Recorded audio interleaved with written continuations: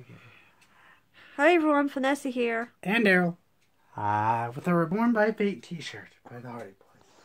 Today I'm going to show you a Pharaoh Atem from Yu-Gi-Oh! This is the box looks like. Nice. Nice box. And the top of the box. And then the side of the box. Show them what it looks like. So here's the figure itself. I displayed it without the cape because I think it's better without it. So looks like a little focus.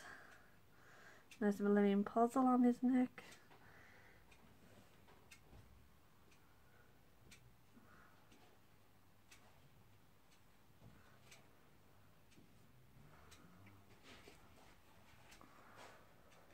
Yes, the Millennium Puzzle.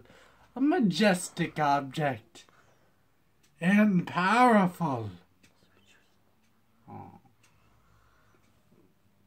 So yeah, that's Pharaoh Atem from Yu-Gi-Oh! So like, comment, subscribe, and share guys. So I see you again for more unboxing, etc.